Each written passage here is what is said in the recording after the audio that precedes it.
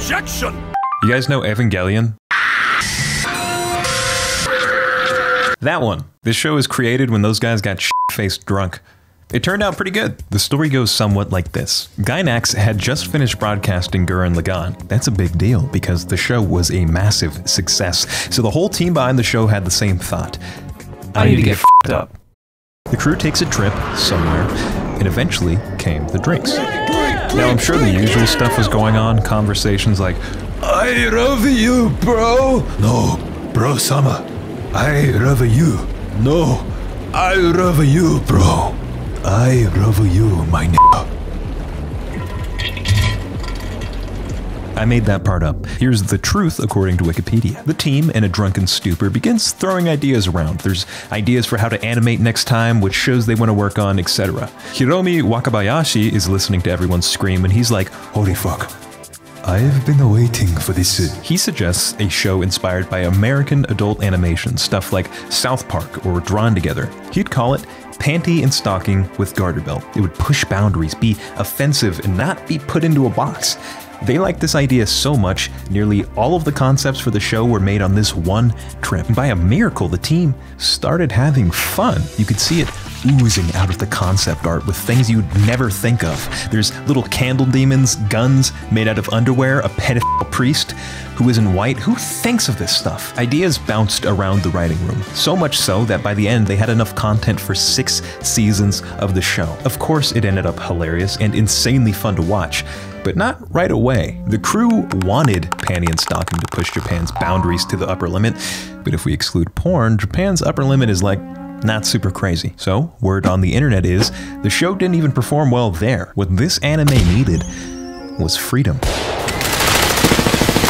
In America, our adult cartoons touch all sorts of degeneracy. If you've ever watched Superjail, you have no doubt wondered how the fuck it's on cable. So Funimation purchases the rights to Panty and Stocking and starts working on a dub. This would end up being the greatest thing that could have happened to the show. They tell Jamie Marchi, the writer, director, and voice actress of the show, to America the shit out of it. Jamie takes it upon herself to push the show as far as she can take it, and by some miracle, yet again, they begin to have fun. Funimation's new dub changed the show. It changed how the characters acted, the jokes, entire conversations, and it became something completely unique. People loved the changes, calling it an orgasm of excellence, the best anime of 2010. This shit is awful. Panty and Stocking is an anime that relies on swears, penis jokes, and violence as its selling point. This anime offends me. Not a single thing about it didn't offend me. It's possible Funimation went too far with this anime, but too far is what I'm all about, baby. What's in this show? Why do so many people like it? Why do people hate it? To find these answers, we're gonna have. The intro is completely unbefitting of 2010. I was blown away by the little title cards, the expressive animation, and sweeping shots of the city. Holy fucking shit! Then I met Panty. Ah! Panty is what we would call a good old fashioned whore, and also our main character. Then there's Stocking. They're both sisters and angels who were kicked out of heaven. As punishment, they're sent to Earth to take out evil ghosts in exchange for god tokens. Today's target, a ghost made out of poopy. Hey! The show's gonna get me demonetized, I swear to God. We're not done meeting the main characters though. The best one's name is Chuck. They fucking killed Chuck. And finally, Garterbelt. Garterbelt is a special case, as he's a black guy voice acted by a white guy who's also Vegeta, who's written by a Japanese guy. He also has some of the best dialogue in the entire show. If we die out here, we're gonna kill you! Patience is a virtue! Shut the fuck up, bitches! So after we meet them, the two take off, and they find their poop ghost. Wait, he's merely a handsome plumber. You're a hot piece of ass. Do not do it. La la la la la la la la you can't hear this, you can't hear this. After that, the two go back home because they didn't do anything they were supposed to do. This is where you start realizing how the show is gonna play out. Panty and Stocking are much more like you and I than they initially seem. They care a lot about the same things we do. Cock, sugar, the essentials. Dumb stuff like saving people and killing ghosts, eh, that gets in the way. Every episode is about a different ghost that Panty and Stocking slowly work themselves up to fighting, each time in a different way. Wh- What happened to the ghost we were supposed to worry about? Oh, oh, it's It's Evangelion. Holy shit! What the fuck are we gonna do? Panty and Stocking turn hot for 10 seconds and finally do their jobs.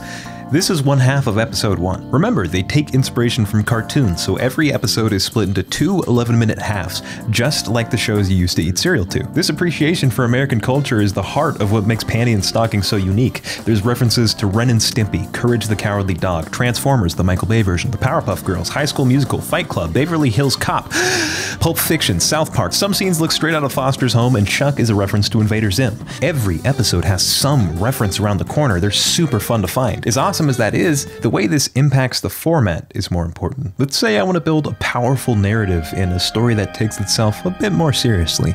I might not just need characters you like, but ones that experience hardship, face their bad decisions, and fall again and again and again and again until they figure out how to stand up straight. Because that's when people grow, and when you capture that, you get those memorable climaxes where the main characters reach the end of their journey. This is usually only possible if you don't blow your fucking characters into smithereens the last episode. Panty and Stocking sacrifices the ability to create tension in exchange for specking all the way into entertainment. It sucks if you want a meaningful story, but when you want to eat cereal and scratch your nuts, this sort of thing is perfect. It allows the creators to be free. When each episode has practically fuck all to do with the last, there are no wrong answers. Hey, you want a Transformers parody where the main robot is named Coctimus Prime? Go ahead, make Tom Cruise the game show host where a lawyer monkey decides the fate of the main characters. Who gives a dang? There's this episode that confused the shit out of me at first. Episode 3 starts off in a desaturated, super serious warboat. Everyone's scared. That's a weird explosion. Everyone's scared. Is his handwriting Heads up! The time's Spermies? come to pound this Everyone's pound, Some huh? of you guys, but you came through. You came quick, hard. If you haven't noticed it yet, let past me explain it to you. It's time, seamen. Get Wait. These are sperm soldiers. Ew! Ew! Ew! Can I talk to the orchestra for a second?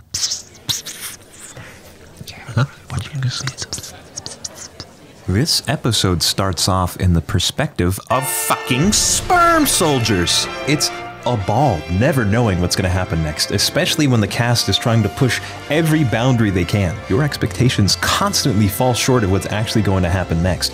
But if it's unfunny, yuck! Carlton, you called, sir. Fetch me the gringos. Right away, sir. Yes, these people. The character designs are so eye catching, constant references, and the concepts for these episodes are super unique.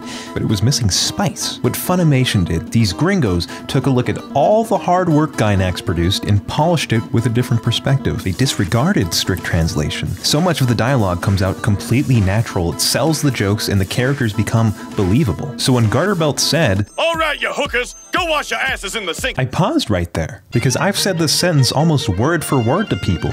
All right, hookers, wash your asses in the sink.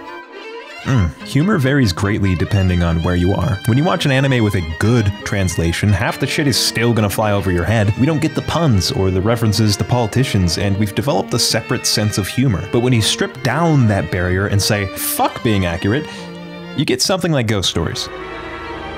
God, you are four of the ugliest fucking kids I've ever had the misfortune of laying my eyes on. I can't wait for this bitch to kill. As opposed to Ghost Stories, however, Panty and Stocking works with the original content in perfect harmony. The basic characters and plot are intact, but now they know the ins and outs of American culture. They reference E ESPN, they name drop Real Housewives of DC. This line right here. You better not get all fat again.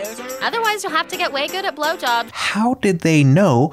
Fat women are insane at blowjobs. You would never hear this in an anime. I especially like how they've portrayed the characters here. Everyone is so extremely distinct from one another. Panty is a crazed harlot, Garter is a walking stereotype, but somehow less racist than this. Stocking is a cute goth who likes fat dorks. Don't get excited, she's not real. These huge personalities collide and drum up so much chemistry, it's insane. That's how the show gets away with an entire episode taking place on a couch. I think a lot of these shows are scared to have female leads with serious defects. The most I'll see is a chick that's kind of mean because she secretly likes the main character or the classic donor that got bullied for being too pretty.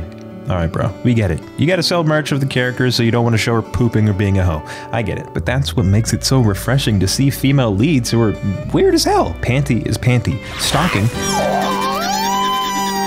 Well, that's the coolest thing I've ever seen, and I want her to do it again. But that's not a katana in her hand. Let's not understate the importance of a shitty main character. Kazuma, Subaru, Riley Freeman, Rick Sanchez, Peter, Homer, Bojack, you're quite acquainted with this archetype, but rarely do you see chicks fill that role, especially not as elegantly as this. Panty and Stocking hurls nostalgia, gorgeous colors, and fire jokes at you from left and right. There's nothing quite like it. It's so brave artistically, but it's pretty stupid. A lot of what I said can be flipped. I like how the characters are bad people. These bitches do not care about nobody. I like bad words. They cuss like fucking pirates, okay? I like how they sit around and do nothing. They stay maxing out Garterbelt's credit card. They can't keep a job to save their fucking lives. Okay, lady, you're just picking on me now. You are describing me. Listen, I love panty and stocking, okay? Oh, okay, we're good. But this show really does not like black people.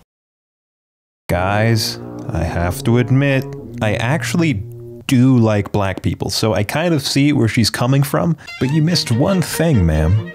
They gave him the funniest line in the show, not the two gringas. Something to think about. The humor is definitely not for everybody. Much of it revolves around being vulgar or saying the word pee pee. But if you have thick skin, an open mind, and for some reason any of this seems appealing, you'll see how sick the show can be. The art is like. Every scene is extremely stylized. It leaves an aesthetic footprint on your mind. Onomatopoeias skate around the screen. Every time a villain dies, it cuts to the crew blowing up a real doll, so you know they had fun. The show gives off such a sense of freedom. When people can create without fearing the result, something like Panty and Stocking comes along. Or High Guardian Spice. Maybe fearing the result is a good thing.